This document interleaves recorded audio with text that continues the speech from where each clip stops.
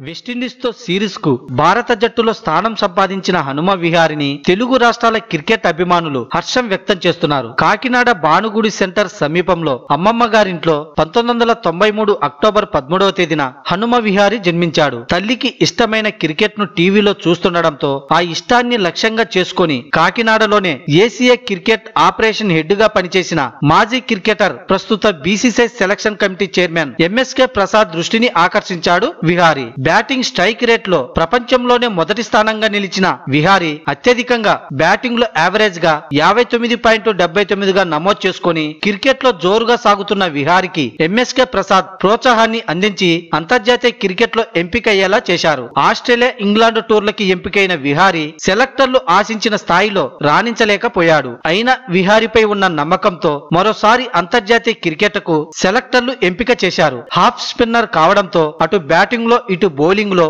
జట్టును ఆదుకుంటాడని భావించి విహారీ వైపే సెలెక్టర్లు మొగ్గు చూపించారు. ఎంతో ప్రతిభ కలిగిన విహారీ దేశవాళీ క్రికెట్లో రాణించినట్లుగా అంతర్జాతీయ క్రికెట్లో రాణించలేక అభిమానులకు నిరాశనే మిగిల్చాడు. సెలెక్టర్లు ఇచ్చిన అవకాశాన్ని సద్వినియోగం చేసుకొని వెస్టిండీస్ టూర్లో తన స్థాయికి తగ్గ ప్రతిభను అటు బ్యాటింగ్ లోను ఇటు బౌలింగ్ లోను కనబరిచి రెండు రాష్ట్రాల కీర్తిని పెంపొందించాలని క్రికెట్ సంఘాల ప్రతినిధులు అలాగే అభిమానులు కోరుకుంటున్నారు.